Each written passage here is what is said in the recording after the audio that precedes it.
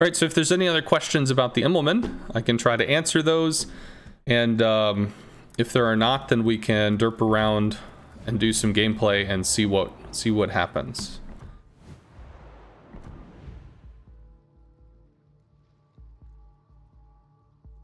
Let's see. Signals.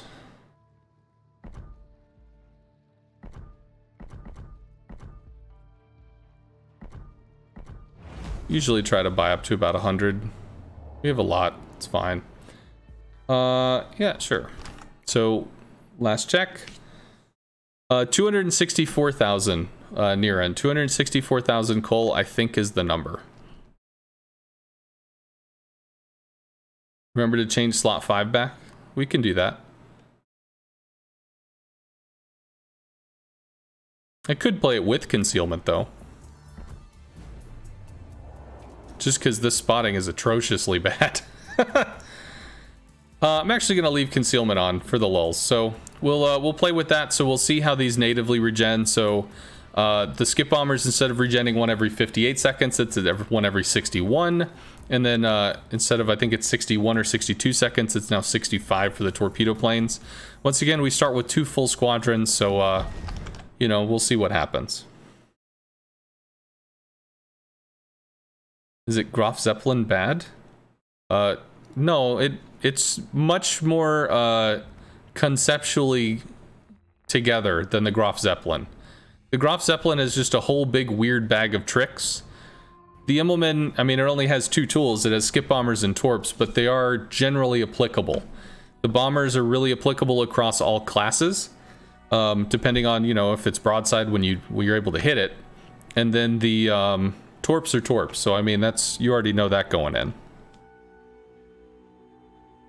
Is the concealed Graf Zeppelin bad? Uh, no, I don't think anything is uh, Graf Zeppelin bad in terms of uh, CV concealment. Maybe I'm wrong on that, but I mean, Graf Zeppelin conceal is pretty rough. Alright, so we've got uh, which is probably the biggest destroyer AA threat. Multiple battleships we can attempt to deal with. And we're going out in the skip bombers. They are extremely fast.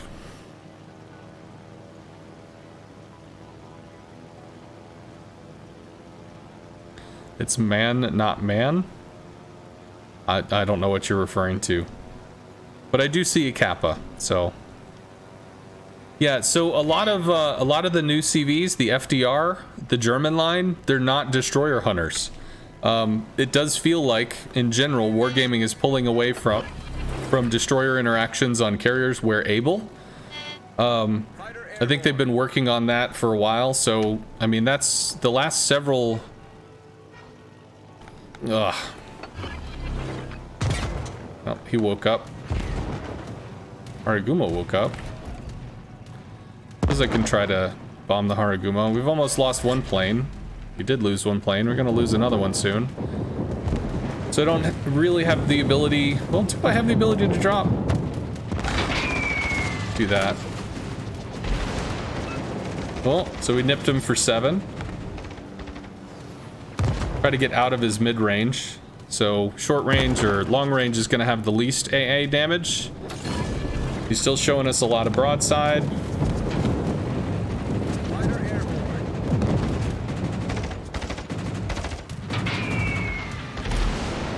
Got another two, so we hit him pretty bad. Um, I'm gonna go ahead and get the Torps regenning. Yeah, it was, uh, that was pretty silly. He just kind of sat there and waited to get shot. He could have turned, he could have smoked, he could have done whatever. Instead, he just sat there and waited for us to shoot him. So, you know, Destroyer's gonna destroy her. Okay, so we've got Torp planes now. Um, there's a Wichita. We could go for the Bismarck, maybe? And we potentially see what's in Charlie while we do it. Now notice the torpedoes are much slower than the skip bombers. Yeah, it doesn't seem bad against, uh, you know, doesn't seem bad against bad DDs. Well, if, if they're just gonna walk forward and be like, hey, shoot me, bro, well, don't be surprised when people go, oh, okay, I guess I'll do that for you then. I'm gonna fly over a Wichita, I'm not excited about that, but I'm pop the engine boost and try to come in on the Bismarck. Plus we can heal just because we're going to be in the close range of the Wichita, which, I'll be honest, I don't know if it's good or bad. Bismarck's AA is not amazing. We drop fairly generously in terms of how far it has to be, because these are Graf Zeppelin torps. They are like 30 something knots.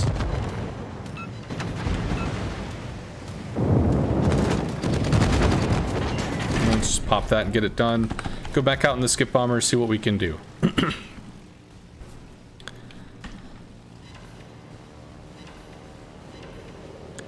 Alright, so we got some damage into the Bismarck. Benson is pushing up. Uh, doesn't seem like there's anything really going on over here. Hakuryu's on the Z, but the Massachusetts is with the Iowa. It'll probably be okay. And it looks like the Benson is smoked. Benson probably just smoked up. Or no, it seems to be going away. Interesting. We did get a flood though, so uh, we could try to light fires on the Bismarck.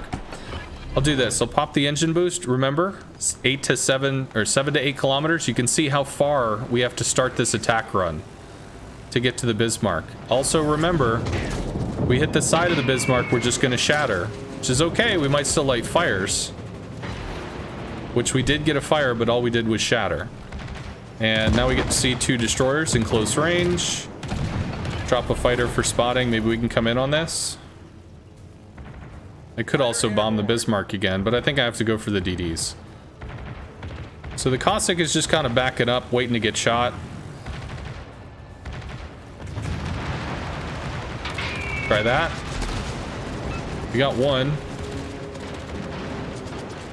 Wichita's close enough that I don't really get to turn in that way on the Cossack. Benson either beaches or hard turns. We might be able to catch him in the hard turn. Keep turning. Keep turning. We got one. So there's some accuracy to it. It's not bad. This is rough. Do we have to work on this side now? Might have to.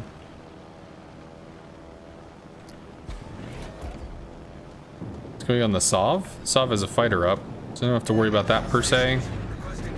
One of the DDs is down, which is good. We might actually, we might have needed to drop, uh, go back out with the... Yeah, we have to work on the Smolensk, I think. And we might end up needing to use our, our, um, secondaries. We have a heal in 19 seconds, which probably want to wait for. There's a Neptune. Yeah, I think we do. Maybe we could uh, try to light the Smolensk, maybe?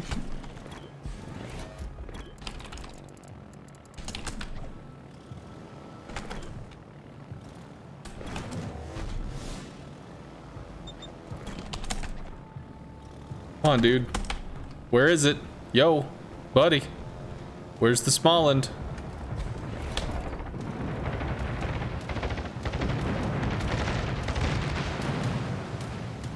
Yeah, so the Harugumo's in smoke, so Smolensk's in smoke as well. So there's nothing I can do over here. Yeah, whatever. This was a waste of time.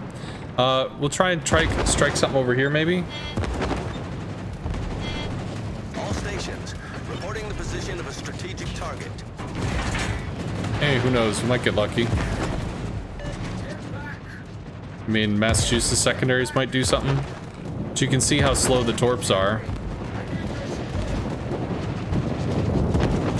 And once again, the torpedo planes have very little health. So, yeah, nothing I'm going to be able to do over there. I need to focus on people that are going to actually do something. Can we get help? For what? Well, it didn't work out so well. Okay, uh, Lepanto's pushing up. I don't think I'm really going to be able to interact with the Smolensk. I could be wrong on that. I think I'm actually going to start cutting over here and use use the team for a front line so that we can try to push that way. Um, Ulan, Sov, they can join together. Ulan needs to be opening up on this. Buddy, buddy, Teammate, I need your support. shoot the planes. Right. Maybe try for the Iowa?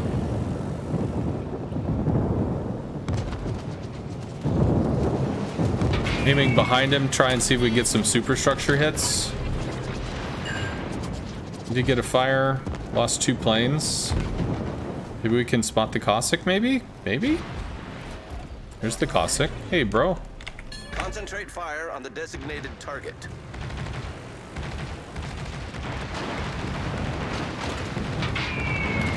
Yeah.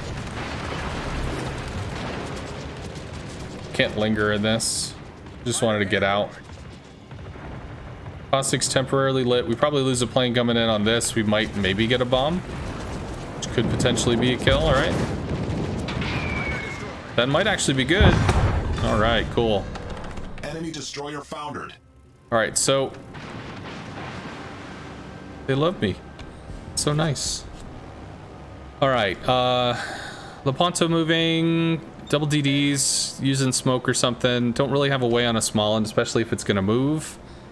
I don't understand why they're scared of the Z, but okay, that's cool too. I still have an engine boost. It could be running out on the, um... It could be running out on the skip bombers again. How about... How about I go ahead and pre-drop? And we maybe take a run in on the Lepanto?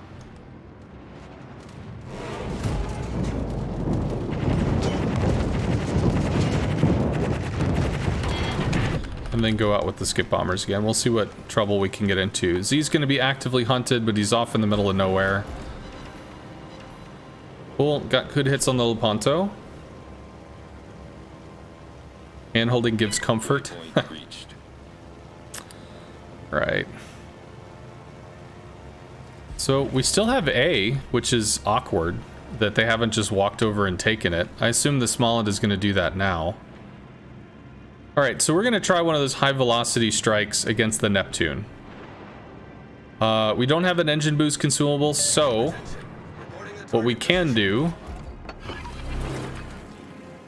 although this is not going to work out, but start our attack around 8 clicks. Smolensk pushing forward, interesting.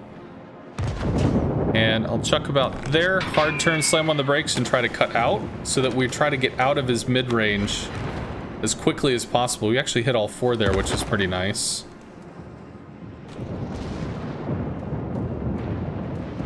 This will not be a good drop, but thankfully the uh, Smolensk AA is not on.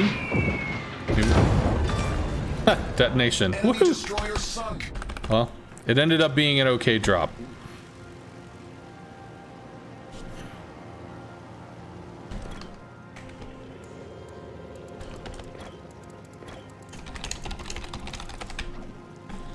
All right. Okay. Yeah, I do I do have a tendency to say this is not going to work out, then all of a sudden there's a detonation. So that does seem to be the secret code for making something happen. That's still a shitload of uh health. Uh, okay, getting shot by the Neptune. We're gonna go in on the Bismarck here, go for a long drop, and then hard cut off to the right. We drop about four point something. Just trying to bail. We got three hits, only one of them actually mattered, and we didn't get any fire, which is sadness. Trying to go for the Neptune is probably also sadness. Harugumo is extremely low, that's cool. Maybe that's why he's dying for me to go after him. Do we have another shot here? I think I go for the Lepanto, because the Bismarck's just not going to give me a line. So, drop and bail. Come back out. We have 12 torps, which is not a lot. Did get a fire, but a bunch of shatter. So against battleships, you're going to encounter a lot of shattering, which is going to be a bitch. Um, you have torpedoes for that. I mean, if the torpedo hits, it's going to deal some damage, but it's not a lot of damage. So, uh, yeah, have to figure out how you want to make that work. Maybe we can strike in on the Bismarck this time? So again, we don't have to get close enough to where his fighter could latch. Let's do that. Hard turn. Hard turn. Double fire. Useful. Does it stick? No, damage condit. We have a lot of caps. Z is running, so he's just basically pulling attention, which is nice. Bismarck is hard turning or something. If we can relight the Bismarck, that would be great. We have to watch for the island. We need to make sure this is going to skip. Not skipping. Now it's skip active. I dropped too close, but it'll be fine. Autopilot mode enabled. Double fire. That one's going to stick. He's dead. But, I mean, he took A. That's been a huge source of points for a really long time. Uh, however, we don't have really any ships, so that sucks. I don't know if I'm going to be able to solo down a Neptune. Uh, yeah, I don't know. I'm not sure how this one's going to go. We can roar in on the Bismarck, I guess. Maybe if we get a flood, it'll stick for a little bit.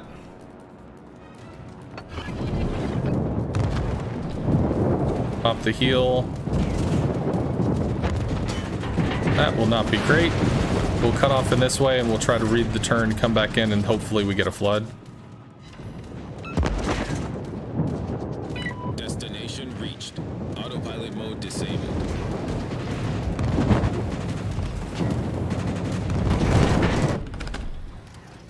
Yeah, I don't know about this. The Seattle could kill the Neptune, that'd be great. We destroyed Okay. enemy battleship. Okay, still a lot of battleships to deal with. We do have a bunch of skip bombers, which is good. We might actually have to start coming in and swinging with secondaries, maybe? Uh, we could try and over the island drop on the Lepanto, maybe? Oh, but there's the Georgia. How could I not go for the Georgia here? We're gonna run out of boost. That's sad times. Do we get this shot? Do we get this shot? Do we get this shot? I don't think we do. I don't think we do. Nope.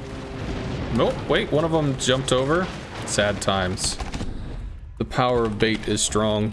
All right, so we can work on the Lepanto, I guess. And also, I'm going to start moving in to Autopilot pull mode fire. enabled. Vijay goes down, though. But I will have secondaries. Good shit. Seattle murdered the Neptune. Or sorry, Harugumo murdered the Neptune, but we'll pretend it was the Seattle. Fuck yeah. Our team has taken the lead.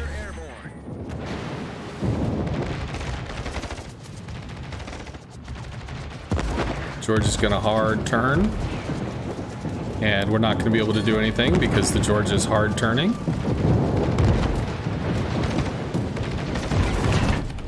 Maybe we get lucky.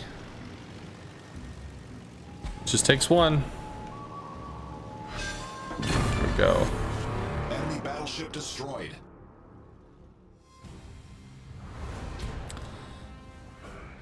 All right, so skip bombers, torps. That's what you got.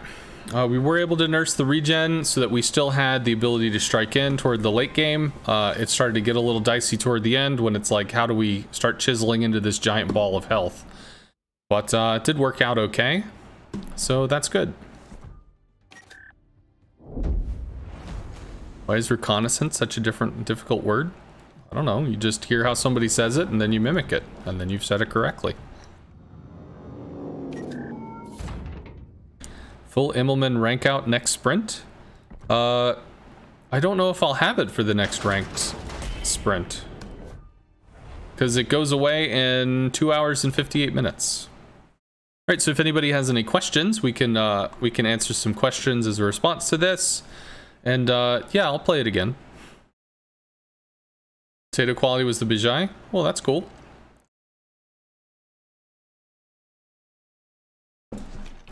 Would I not spend the coal on it?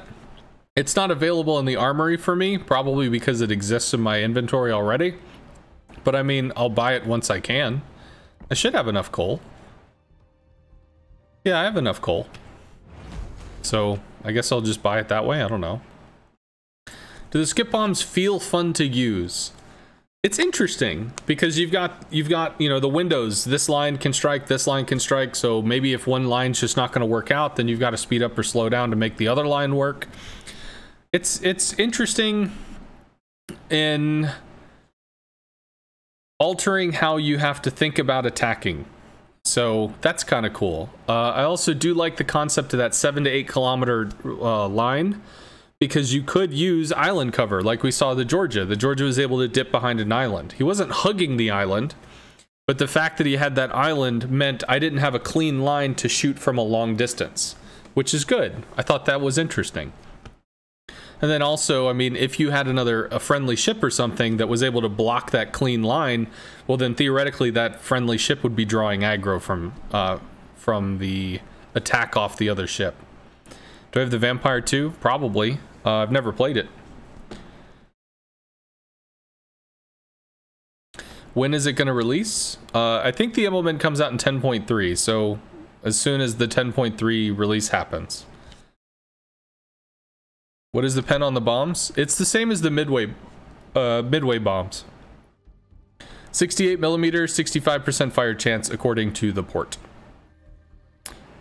Okay, well now this uh, this number is correct for the maximum torp damage of 4767. So this is what it's supposed to be. if I could rank this CV in comparison to the other tier 10s, what would I choose it? Would I choose it over a midway for a clan battle? Um.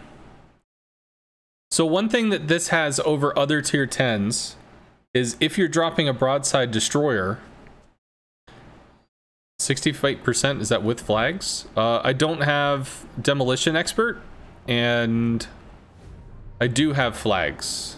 So 68 width. So it's probably 66 by itself. I believe it's the same as the midway.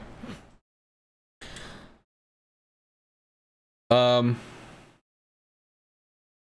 what I think about a Friesland when I'm in a CV? Is it easy to deal with? Not when it's in smoke. Um, the anti-air destroyers are all about the game of when do you surprise the planes? Because if you just light off and just like, hey, I'm over here, well, then it's much easier to play the flak dodgy minigame and look at what are your options in dealing with something. Um, if instead you wait for the planes to kind of get into cover, uh, get into your an- anti-air range, and then kind of pounce like a spider, I mean, you can rip some stuff up. So the Friesland can do that. Other European can, DDs can do that. Defensive fire can be uh, quite effective, especially when it's in a surprising situation. But would I choose the Immelmann over the midway in a clan battle? Um, it just comes down to dependability, and it depends on what we're going against. If we were going against all destroyers, I wouldn't necessarily want this against destroyers, because the skip bombs can get ripped apart, uh, even by destroyer AA, especially if people use like Marceaus or Smolensks. Um, but I would still be able to bomb from a, a, safe distance. So if they're open water and lighting themselves, I mean, they could dodge. They could just turn bow in or something, and the bombs would just skip right past them or whatever. But it just comes down to what's reliable. And I don't know. You wonder how an FDR versus the Immelmann would do? FDR has a lot more direct damage than the Immelmann does. Because you saw we were bombing battleships and we got lots of shatters. Well, what happens if you bomb with an FDR? You're coming down on the deck, so you're not going to shatter nearly as much. If you're torping, I mean, it's got heavy torp broadsides and has enough planes to stick in the area and haunt, whereas the Immelmann's going to be a quick go to a place, strike, go to a place, strike, go to a place, strike, strike, go to a place, strike, strike. Um, FDR is a very different ship. I mean, your planes are very fast. Can you block them as well as in a midway? Planes are very fast. Can you block them as good as in a midway? Block what? I mean, if the planes are faster, then it would be easier to block an FDR because I can fly faster and position better. So, yeah, midway planes are slower. Immelmann planes are faster. I, I would have less fighters, though. In a midway, I would have 12 fighter consumables. If I take the two-point talent, that gives me a bonus consumable. In the Immelmann, I only have 8. So that gives me uh, only two thirds the amount of fighters to be able to like protect or ward my team.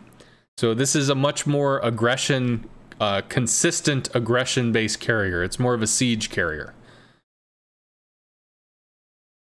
Yeah, I realize interceptor build, but I would still only have eight consumables as opposed to the midway with 12. If I wanted 12 consumables in very fast planes, I would use the Hakuryu or the Richthofen. Both of those could have 12, uh, 12 fighters. What is the max possible speed of the Immelmann skip bomber planes? 242, I think is what it is. 242, that's the maximum speed. That's with uh, the speed module in slot 6 and the bomber speed as well as improved engines. 242 is the maximum speed. Is that a blue max insignia on the ship's bow? I have no idea. So, sorry, I, I, I don't know. I just play the game, I don't know ships.